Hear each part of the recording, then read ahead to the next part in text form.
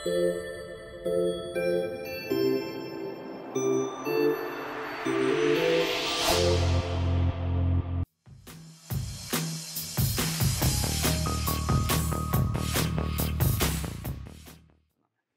serdecznie drodzy koledzy i koleżanki, studio hodowcy. Jesteśmy dzisiaj u Tomasza Piechalaka. Miło mi Was gościć u siebie. Dobry lot. E, Tomek, który to oddział, gdzie lotujesz aktualnie, jak to u Ciebie wygląda?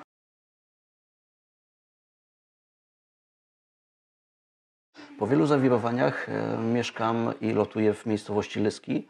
Jest to 0132 okręg Lyski, e, Śląsk Południe. Okej. Co możesz powiedzieć na temat swojej historii, jeśli chodzi o największe sukcesy, jakie odniosłeś w sporcie gołębiarskim, aktualnie do tego momentu, na przestrzeni lat? To może skupmy się na tym, co będzie. Okej. Na razie nie ma się specjalnie czym chwalić. E, Do tej pory są wyniki na szczeblu oddziału. Głównie go w gołębiach młodych, czyli jeśli miałem trochę czasu, drugi wicemistrz w gołębiach młodych w 2016 roku, w 2018 roku, wicemistrz od e, sekcji pstrążna. Natomiast e, w gołębiach starych to niestety jeszcze, jeszcze wszystko przede mną. E, Może przez to, że e, lotowałem wcześniej w Rybniku, w tej chwili po przeprowadzce jak gdyby buduję stado na nowo. No właśnie.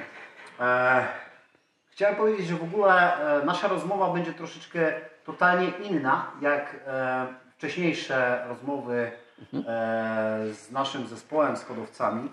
Mianowicie chciałbym się zapytać mm, e, na temat zmiany, w szczególności sposobu myślenia, zmiany, która wynikła z tego, że po prostu można powiedzieć, że rozpocząłeś od zera, No tak się dzieje. tak, tak się dzieje rozpocząłeś od zera, miałeś swój etap w jakiejś tam swojej karierze i teraz jesteś w tym momencie w innym miejscu e, z nowymi zawodnikami. I co w ogóle spowodowało u Ciebie tą w ogóle zmianę e, i jakiekolwiek wnioski w tym kierunku dla, e, w szczególności dla naszych oglądających?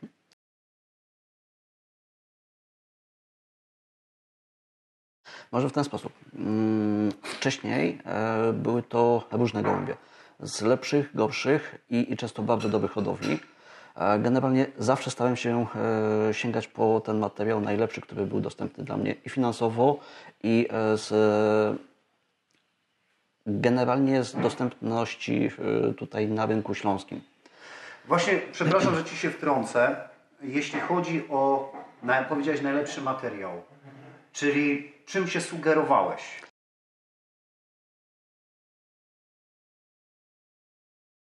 Przede wszystkim tylko i wyłącznie wynik e, hodowcy.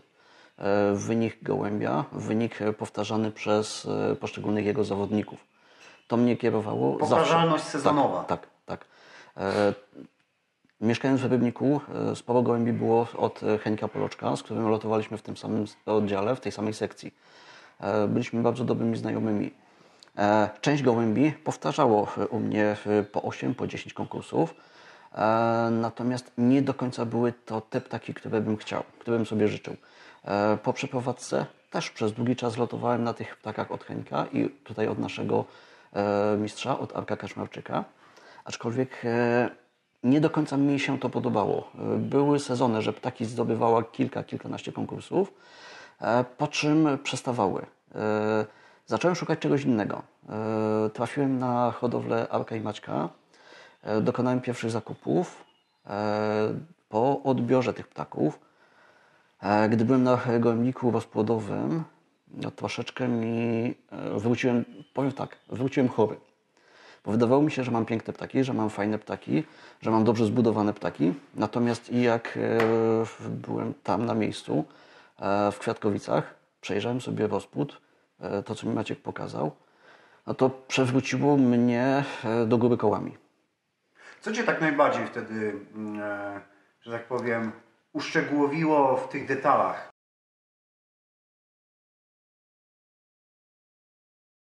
Poza, zauważyłeś. poza listą konkursową, bo to jest e, temat oczywisty, o którym nie sposób dyskutować. Gdzie, gdzie bijemy e, 60-70% w konkursie. Budowa gołębia. jego e, mięśniówka, jego skrzydło, e, jego balans, e, pełność, taką kompletność. Coś, e, co, co mówię, e, zawsze mi się podobały ładne ptaki. Zawsze starałem się, żeby moje ptaki były e, w miarę fajnie wyrównane, żeby nie było jakichś tam odstających, nieproporcjonalnych czy, czy źle zbudowanych. Natomiast moje wyobrażenia legły w gruzach. Mówię, wróciłem chory i postanowiłem się leczyć. Stopniowo poszczególnymi e, zakupami starałem się e, zmienić e, swój gołębnik gospodowy. I w tej chwili poza dwoma ptakami, które są od zaprzyjaźnionego hodowcy, od kolegi, reszta to są ptaki od Maćka. A jeśli chodzi o te zakupy, które dokonywałeś wcześniej, miałeś jakieś wyobrażenie? Patrzyłeś na listy, patrzyłeś na wyniki, tak?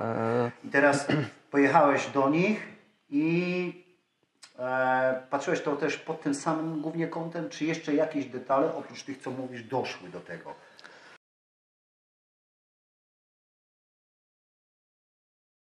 Znaczy, e, tak jak mówię, zawsze kierowałem się wynikiem hodowcy. E, zawsze starałem się brać gołębie z najlepszych hodowli. E, natomiast tutaj, tak, tak jak mówię, poza listą e, niesamowita budowa.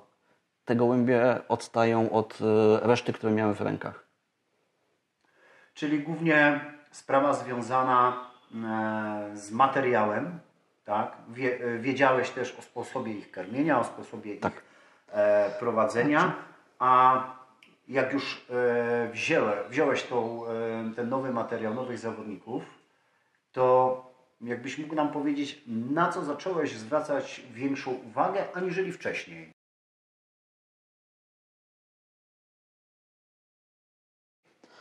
Sposób karmienia przede wszystkim. E, Karmienie do mnie e, do tej pory wyglądało zupełnie inaczej.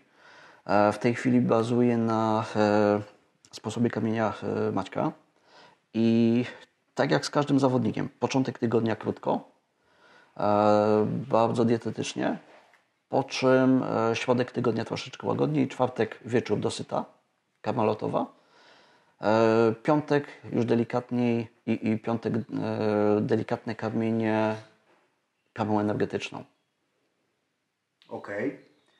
E, W zeszłym roku była taka sytuacja, bo wiele mieliśmy też telefonów, e, co zmienić w planie. Maciek powiedział wiele rzeczy też w filmie na temat właśnie planowania, mm, które nie do końca się sprawdziło z powodu COVID-u.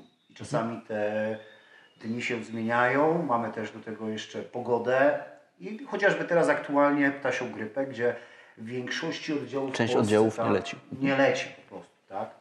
E, I teraz e, jak Ty podchodzisz do tego? Zmieniasz e, w Nie. ostatniej chwili, czy masz plan już ułożony Nie. działania? Staram się e, pewien plan ułożyć sobie nieco, nieco wcześniej i realizować go. Jeśli nie mamy lotów, jeśli nie zaczynamy, e, możemy wywieźć indywidualnie. E, Mam czas, wywiozę dalej. Jeśli nie, e, wywożę ich na 20 km. Wywiozę ich e, kilka razy w tygodniu i to też pozwoli moim gołębiom się dobrze rozkręcić, dobrze przygotować do tych lotów, które będą. A mógłbym zapytać Ciebie, mm, kiedy w ogóle rozpocząłeś wywózkę? W momencie, kiedy mamy loty, mieliście już lot Mieliśmy lot w tamtym w tamtym tygodniu. tygodniu, czyli tu mamy początek maja, tak? To po okresie zimowym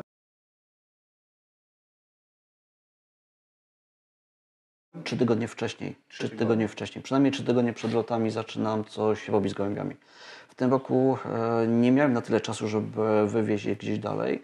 E, moje wywózki ograniczyły się do odległości około dwudziestu kilku kilometrów.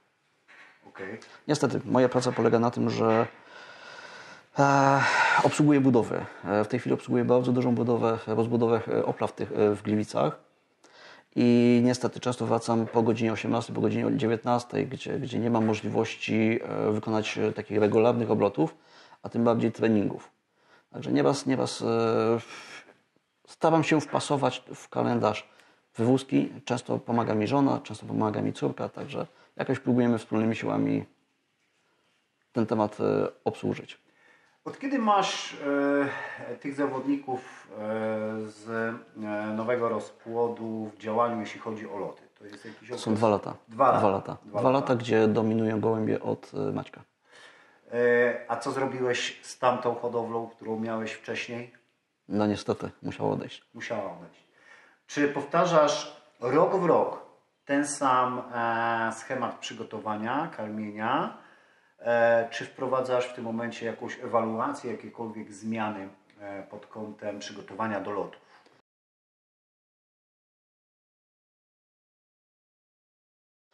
E, Staram się coraz lepiej uczyć się ptaków.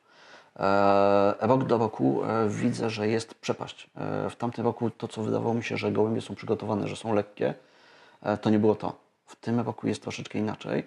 No i z pierwszego e, lotu mam e, trzeciego w oddziale, szóstego w oddziale, czternastego w oddziale. E, Zobaczymy, jak będzie teraz. Przyszły lot jest bardziej wymagający, będzie troszeczkę dalej i pod wiatr. Zobaczymy w niedzielę. Okej.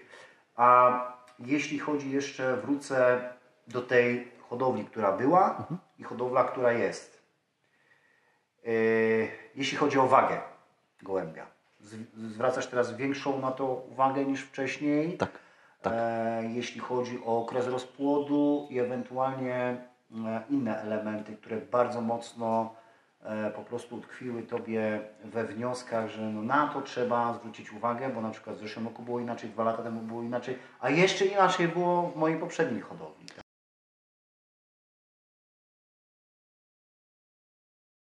Znaczy staram się dopasować kamienie do tego, co jest na zewnątrz. E, W tym roku mieliśmy dość e, intensywną zimę, gdzie e, powiedzmy ten proces odchudzania po okresie pierzenia przechodził troszeczkę inaczej. Nie można było kombinować z utrzymywaniem w dużej ilości jęczmienia. Trzeba było troszeczkę je dokarmić karmą lotową, karmą rozpłodową. Natomiast staram się, żeby do lęgów gołębie przystępowały mniej więcej w takiej kondycji jak do lotów. Czyli mają być pełne, lekkie. Pełne i lekkie. Yy, dziękujemy za ten odcinek, zapraszamy do kolejnego. Dziękuję bardzo. Okej.